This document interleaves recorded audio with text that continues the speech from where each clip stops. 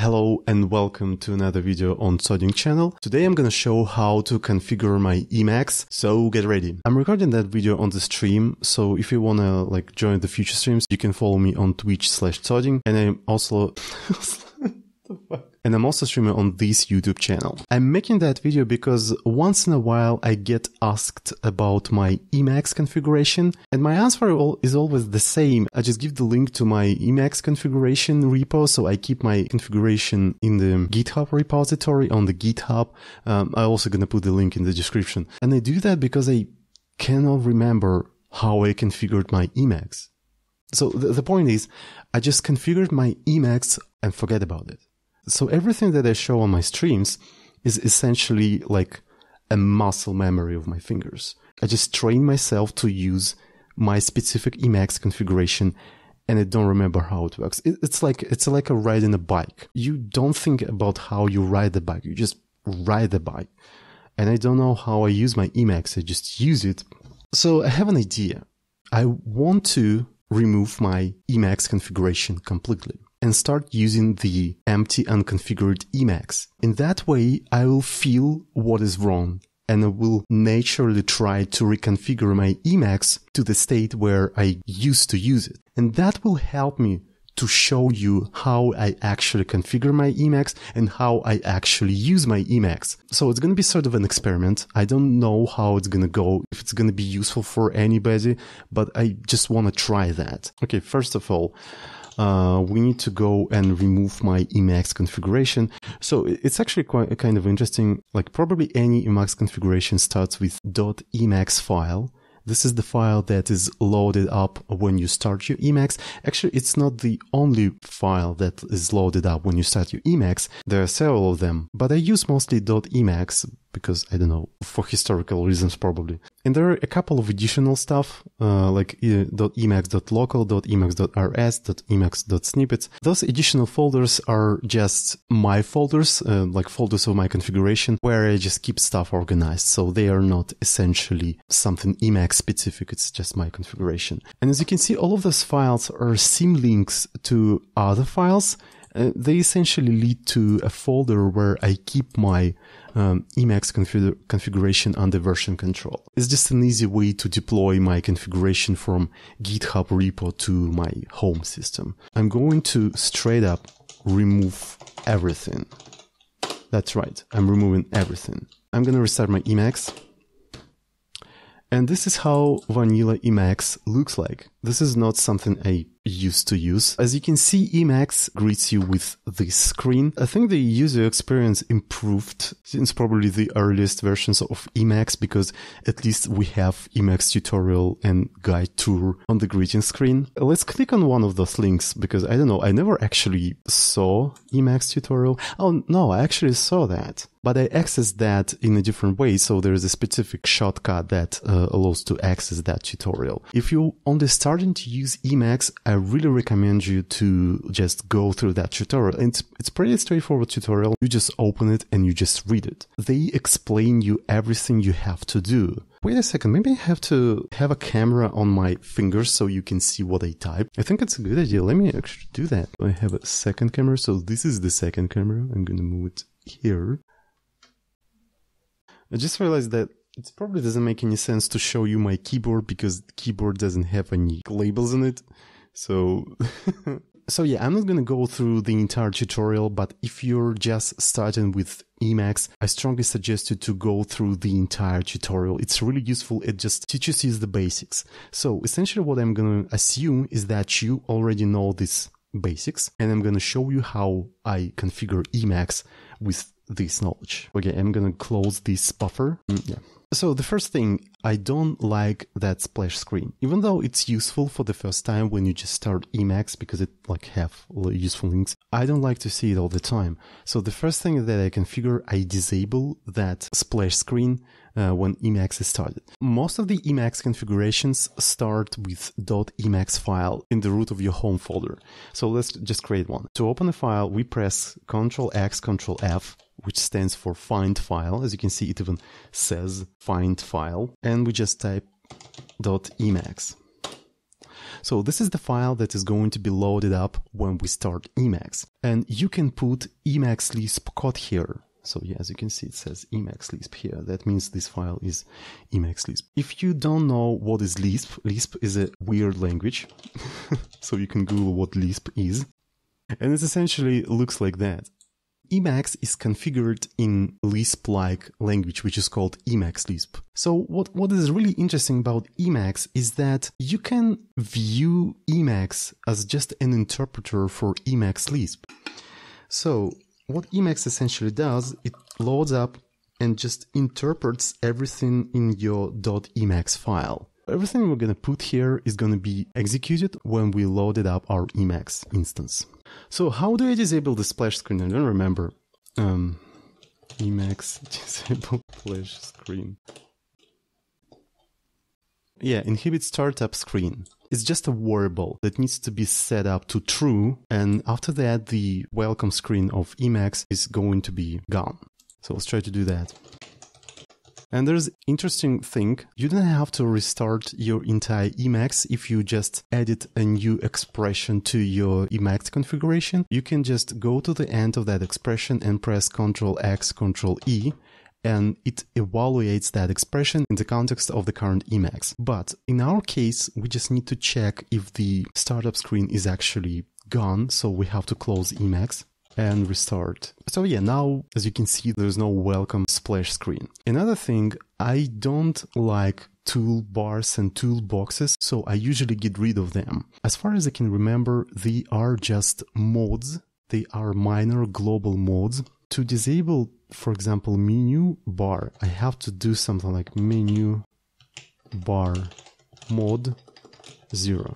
And I can evaluate that with Control X E and it's gone.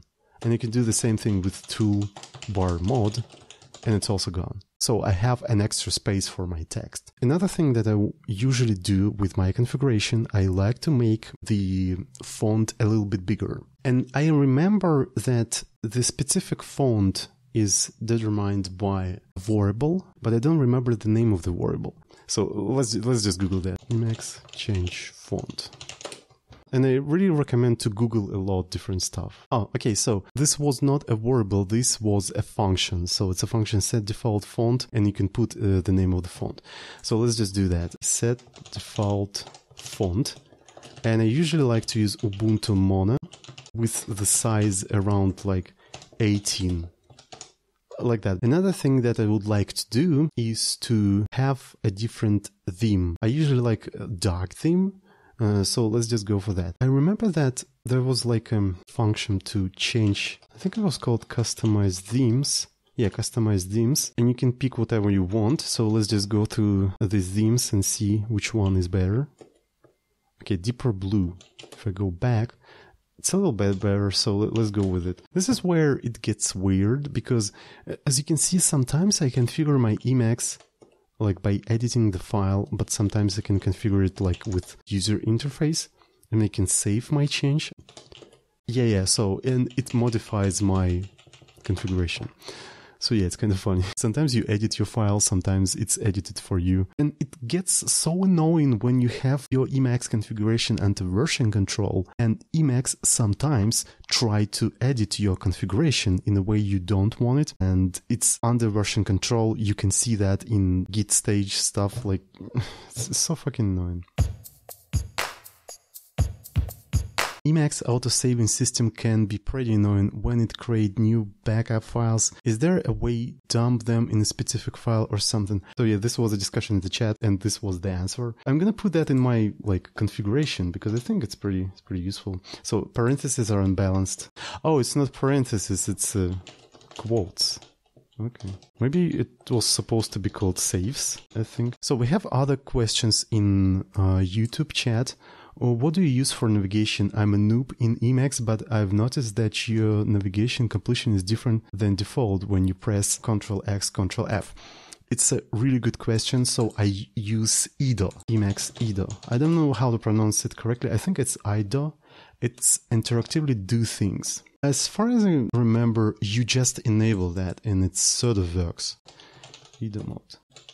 Yeah, so you just enable it and it allows you to autocomplete stuff in a really cool way. IDO mode 1. But IDO works only with files as far as I'm concerned. I want to use the same for MetaX. And yeah, for MetaX, like we don't see such thing. But for MetaX, there is such thing as SMEX. SMEX is essentially IDO or IDO for MetaX. I'm not sure if it's available out of the box or you have to install it. Let's just check it. So SMEX so it's not available out of the box, so we have to install it. We have to use Emacs Package Manager. To start Package Manager of Emacs, we have to invoke command package list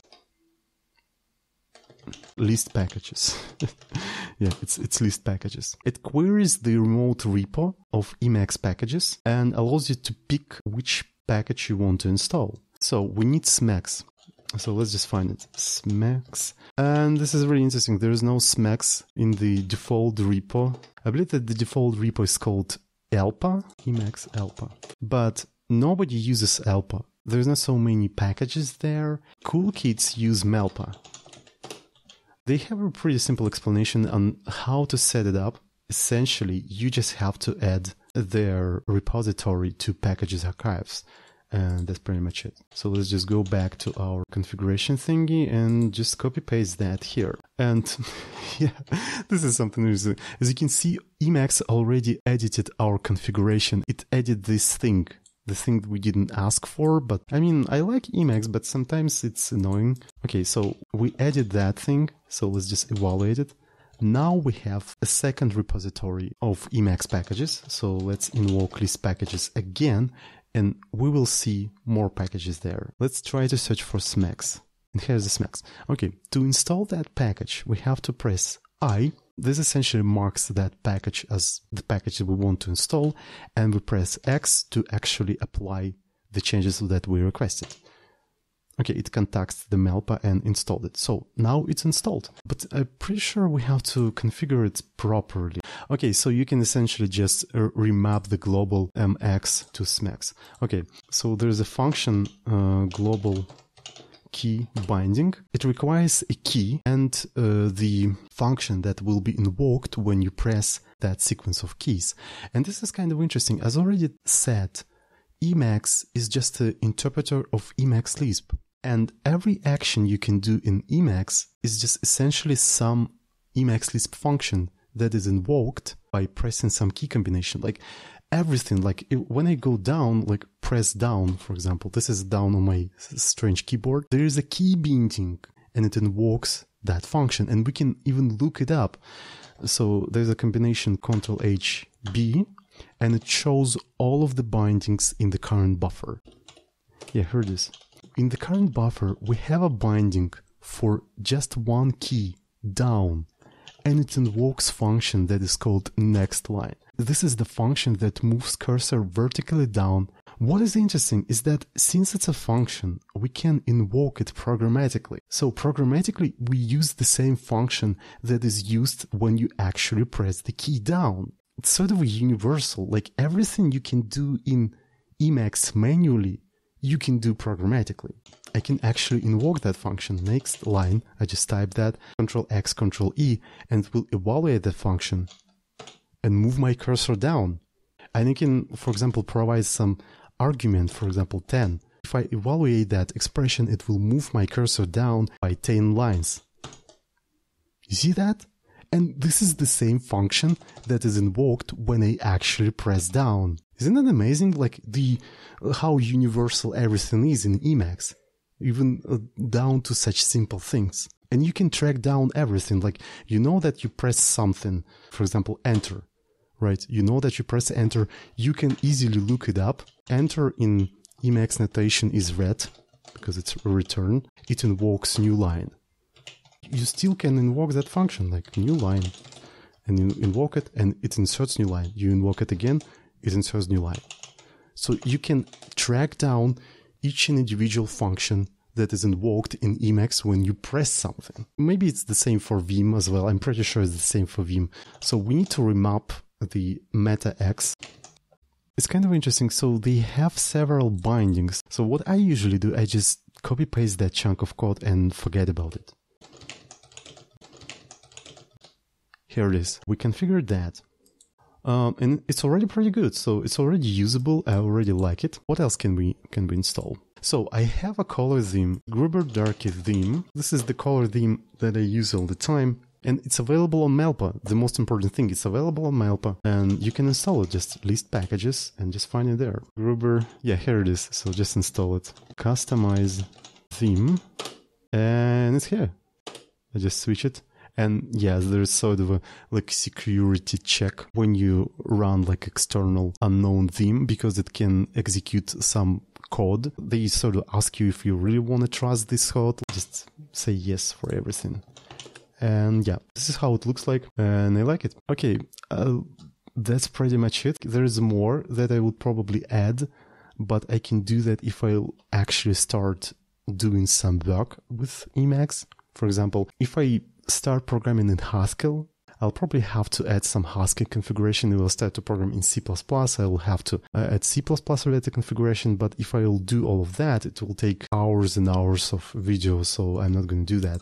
Instead, I really recommend to check my Emacs configuration. I'm to put that link in the description. So yeah, I guess that's pretty much it. This is just my basic Emacs configuration, like something that is essential for my work. And I really hope you found it useful too. That's it for this video and I see you on the next video, I guess.